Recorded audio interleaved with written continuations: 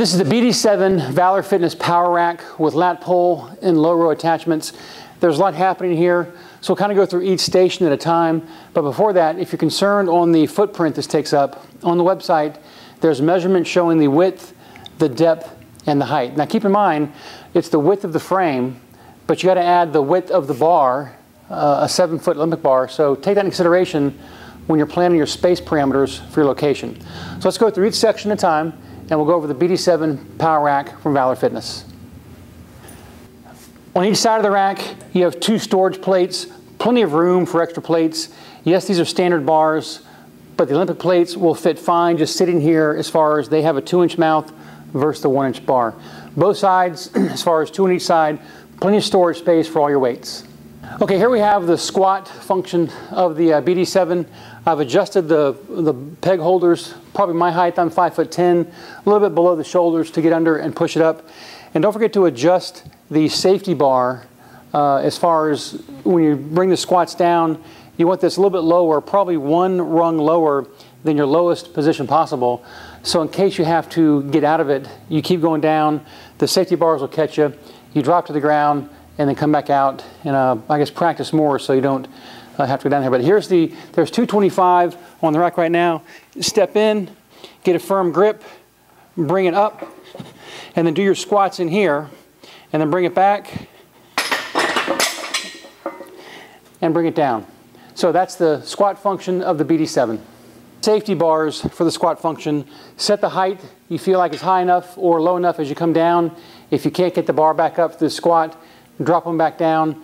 The bar, the safety bars will catch your bar. This is solid steel, so they're not going to bend or break and uh, jump on out and start over. So here's an example of the safety bars. Come up under the bar, bring it up.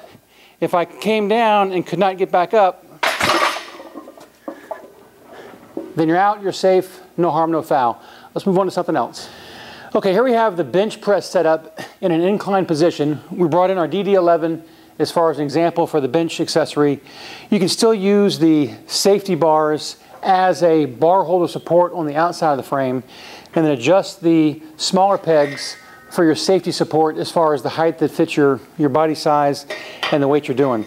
So again, this is the uh, incline position. You can also do the flat, bring these down, adjust the pins and pegs that fit your desired body height and also the weight you're using. And you can accessorize this with a DD4, DD11, and some other benches we have for Valor Fitness. And at the top of the unit, we have the pull-up station. It's a knurled steel bar, roughly 81 inches off the ground. Again, I'm 5 foot 10, nice wide grip, pull down, plenty of room for a pull-up. Okay, here we're set up for the lat pull. Now there's a, a bar that came with the rack with a foam roller that goes halfway through it. And people ask, what's that bar for? Well, if you ever do the lat pull and you're pulling down more weight than you weigh, most likely you're going to raise up just due to physics and laws of gravity that you're trying to pull down. Let's say I weigh 210. If I'm pulling down 215, most likely I'll do a pull up. So what this does, the bar is positioned to wedge yourself under the bar and try and have the foam pad right across your, your lap area, the crotch area, and your thighs to kind of pull, give you resistance. If you lift up, the bar holds you down. So adjust the bar first, and as you drop down, kind of work your legs under it, and then do your lat pull. So I'm held in place right here by the bar on my thighs. As you pull down with more weight than you weigh, this will keep from going back up. That's the lat pull for the BD7. And last we have the seated row, or you can do stand-up row or stand-up curls as far as traditional arm curls. But in this position, you got the chain link you hook it up to the, uh, the pulley there, got your weight selected. You can see that it holds Olympic plates no problem, even though those are standard bars. With the clip on the side, the plates aren't going to fall off. If you so choose to add an Olympic adapter, that's great, but the plates are fine the way they are. So you come back in here, seated row, and that's the BD7 Power Squat Rack from Valor Fitness.